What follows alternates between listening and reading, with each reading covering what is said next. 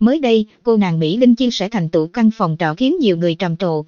Theo đó, Linh đã thành công hô biến căn phòng cũ thành không gian sống lung linh và dễ yêu thương với ga màu tươi sáng sủa. Mỹ Linh 22 tuổi, hiện đang theo đuổi công việc nhiếp ảnh. Cô bạn sinh sống tại thành phố Hồ Chí Minh. Đó là một căn phòng ở tầm thường cư cũ, sát bên bến xe chợ lớn.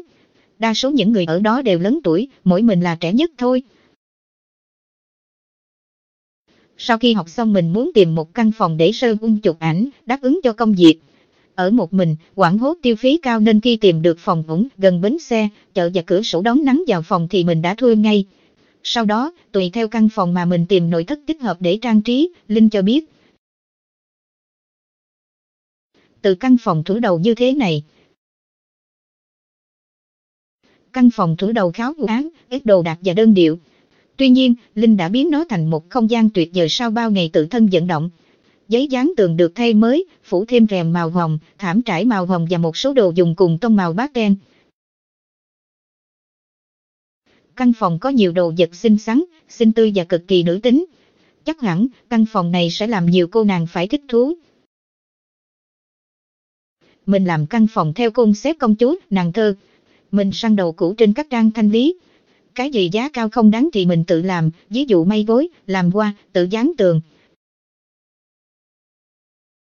Mình cũng đi chụp nhiều rồi.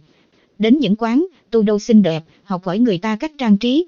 Mình cũng tham khảo từ các trang mạng để lấy thêm cảm hứng.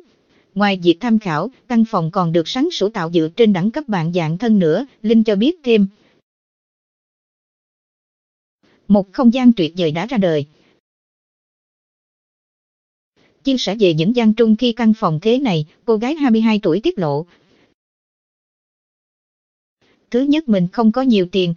Thứ hai gì là con gái nên sức yếu, ba là thời gian. Những cái như dán tường, khoan tường đóng đinh phải đợi cuối tuần người yêu mình qua phụ chứ làm mình không hết được. Nhìn gì cũng thích mà không muốn chi nhiều nên mình sang đầu cũ thôi. Không cũng tự làm lấy. Lúc đi chụp mình mua được đồ rồi, khi dọn qua phòng cứ mua dần mua dần.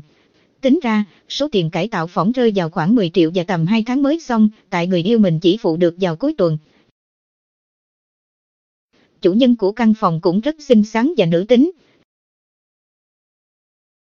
Nhận được nhiều lời khen ngợi từ cư dân mạng, Mỹ Linh thấy cực kỳ vui vẻ.